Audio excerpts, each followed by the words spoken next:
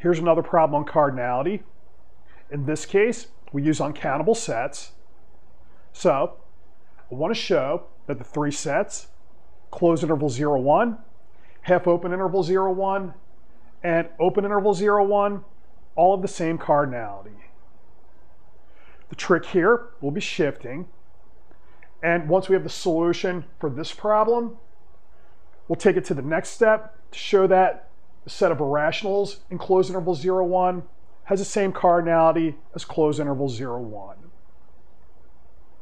Now, let's recall, okay, the main ideas behind cardinality.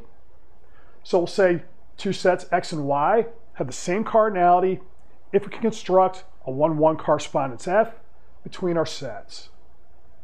So recall, one-to-one correspondence just means one-to-one -one and onto. And the way we think of this, we're just taking all the points of x and relabeling with the names of the points in y. So we use every label from y, and we use each label exactly once. So example, which will be helpful for solution. If I take the natural numbers, okay, so here my natural numbers start at 1, we'll have one-to-one correspondence between the natural numbers and the natural numbers including 0 by just setting the natural number n to n minus 1. So, okay, not too tough to show that that's a one-to-one -one correspondence. So these two sets have the same cardinality, and all we're doing is relabeling each point here by going to the point one less. Okay, so relabel one is zero, two is one, three is two, and so on. All labels get used and they get used exactly once. Now, a useful way to think of countably infinite sets is in terms of sequences. So for our previous example, I can think of the natural numbers as being a sequence 1, comma 2, comma 3, and so on. The natural numbers including 0, we have the sequence 0, 1, 2, 3, and so on. And our previous map is just taking this sequence here, I shift each term to the right by 1, and then we stick in a 0. So that's a nice way to see that one-to-one -one correspondence. Now, how does that apply to our problem? So not directly to the entire set, but since, okay, the closed interval 0, 1 is uncountable, we could take out a countable subset, create a sequence, and then just apply this trick to that sequence. So what I can do is, if I want to go from closed interval 0, 1 to half open interval 0, 1, okay, so the question is, what do we do with the 0?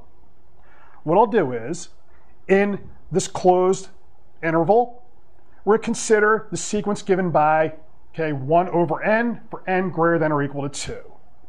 So I'll have 1 half, 1 third, 1 fourth, 1 fifth, and these numbers are going to go all the way down to 0, so we're going to have room for all of them.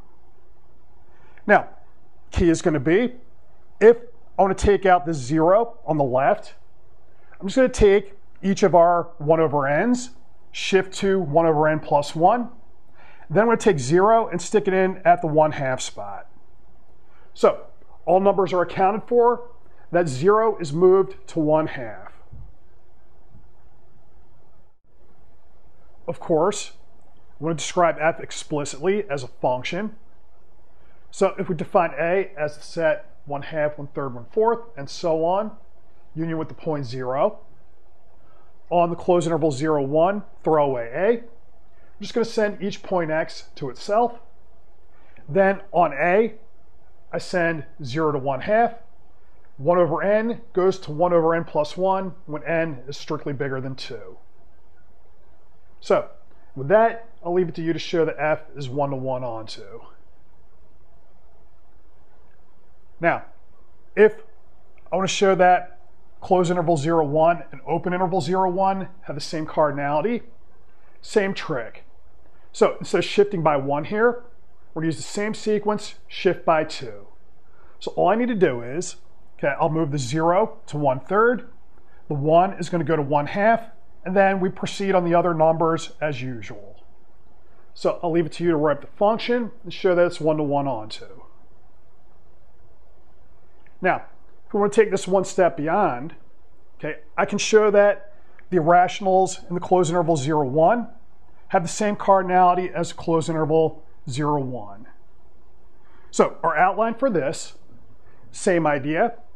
I want to use a sequence, but here I don't want to use a sequence of rational numbers because I want to stay in the set of irrationals.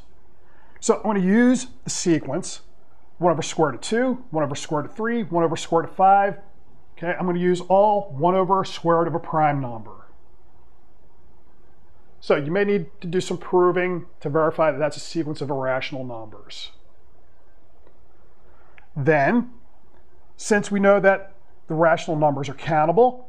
I'm just going to enumerate the rational numbers that are in the closed interval 0, 1.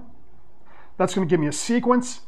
Then we're going to interlace this sequence with this sequence, and then replace as we did before. Let's note what we're trying to do.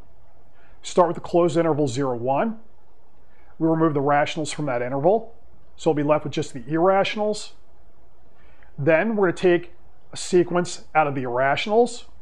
So it's going to leave us room to replace with a new sequence. We take the rationals and the sequence, intertwine to get a new sequence, and then replace where the old sequence was. So that's how we're going to get our one-to-one -one correspondence. Now, let's go through step by step. So I'm going to start with close interval 0, 1. We're going to take out the rational numbers from this interval. And then we're going to take out a sequence of irrationals. So I can use 1 over square root of 2, 1 over square root of 3, 1 over square root of 5. If you need a picture, it's going to look a lot like what we had before. Start at 1 over square root of 2. And then as we increase in the denominator, we're just going to go down towards 0 as the sequence moves on. So we're going to remove that from our irrational numbers. Now, that gives us one sequence. I want a second sequence, which we get by just enumerating the rationals that are in our interval. Okay, so that just means we're going to line up our rationals as a sequence. So, okay, a lot of ways we can do that, but we just know that we can do it. So I could have 0, 1, 1 half, 3 fourths, and so on. And we'll just call that the sequence B sub n. Next step, I form a new sequence. We'll call that C sub n. That's just going to be given by alternating between our first sequence and the rational sequence. So I'll have A1, B1, A2, B2. Okay, numerically with the choices here, we have 1 over square root of 2, 0, 1 over square root of 3, 1, and so on. Now, to define our one-to-one -one correspondence, same idea as before. We're going to take the irrational numbers, throw away the sequence, on these points, we're just going to send each point to itself. So this is just going to be the irrationals without this 1 over square root of p's. Okay, on this new sequence, so note we're in the closed interval 0, 1, so I have to account for what's happening on the rationals and on the 1 over square root of p sequence. Here, I'm just going to take each c sub i Okay, each c sub i is either a rational or a 1 over square root of p. Then we're going to send that to the point a sub i. So the a sub i here is going to be a 1 over square root of p. So we're taking rational or 1 over square root of p, sending it to a 1 over square root of p.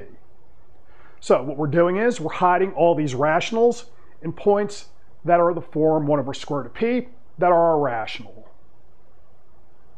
Now, note, okay, that gives us our function and so I leave it to you to show that's one to one and onto.